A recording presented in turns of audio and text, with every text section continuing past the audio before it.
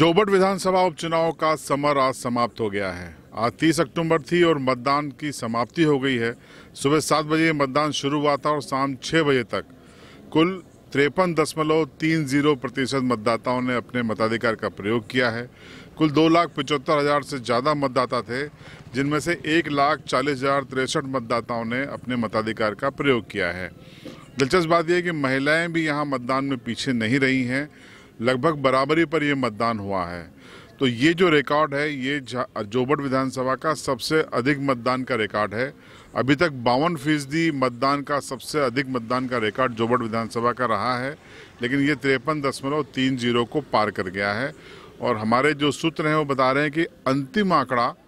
जब आएगा तो ये थोड़ा सा प्लस माइनस हो सकता है यानी कि हो सकता है तिरपन दशमलव एक जीरो रह जाए या फिर चौपन फीसदी तक पहुंच जाए लेकिन करीब करीब यही आंकड़ा रहने वाला है सुबह सात बजे से मतदान शुरू हुआ था और सुलोचना रावत ने काना काकड़ जो कि उनका पैतृक गांव है वहां पर अपना मत डाला और जीत के दावे किए महेश पटेल का यहां पर वोट नहीं था लेकिन महेश पटेल ने लगातार बूथों का दौरा किया और जीत का दावा किया अब ये जो बढ़ा हुआ मतदान प्रतिशत है जो कि पिछली बार के मुकाबले करीब सवा फीसदी ज़्यादा बढ़ा है वो किस तरफ जाएगा क्या ये सत्ता के विरोध में निकल कर लोग आए हैं वोट किया है या सत्ता की नीतियों के समर्थन में आकर वोट किया है इसको लेकर कयास और अटकलों का दौर है कांग्रेस के तमाम नेता ये दावा कर रहे हैं कि वो इस चुनाव को जीत रहे हैं ऐसे ही दावे बीजेपी के नेताओं की ओर से भी किए जा रहे हैं लेकिन हकीकत ये है कि अभी जल्दबाजी होगी किसी भी नती पे नतीजे पर पहुंचना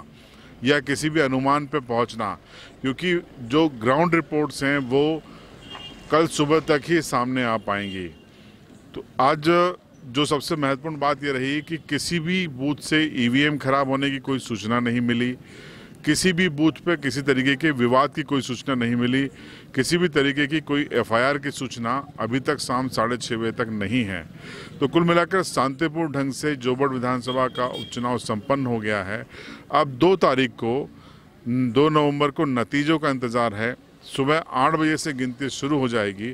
और करीबन नौ साढ़े नौ बजे के आसपास रुझान आने चालू हो जाएंगे और ग्यारह बजते बजते ये तय हो जाएगा कि जोबट का विधायक कौन होगा तो उस दिन हम आपको लगातार लाइव बताएंगे जो काउंटिंग प्लेस है वहाँ जो मीडिया सेंटर बना हुआ है वहीं से सीबीआई की टीम आपको पल पल की अपडेट देगी लाइव खबर हम बताते रहेंगे ब्रेकिंग बताते रहेंगे कौन आगे है कौन पीछे है सब कुछ बताएंगे अगर आप चैनल से नहीं जुड़े हैं तो तुरंत सब्सक्राइब करें बेल आइकन दबाएं ताकि जब भी ये लाइव चालू होगा आपको नोटिफिकेशन मिल जाएगा फिलहाल आज इतना ही बने रहिए आप सिविल लाइव के साथ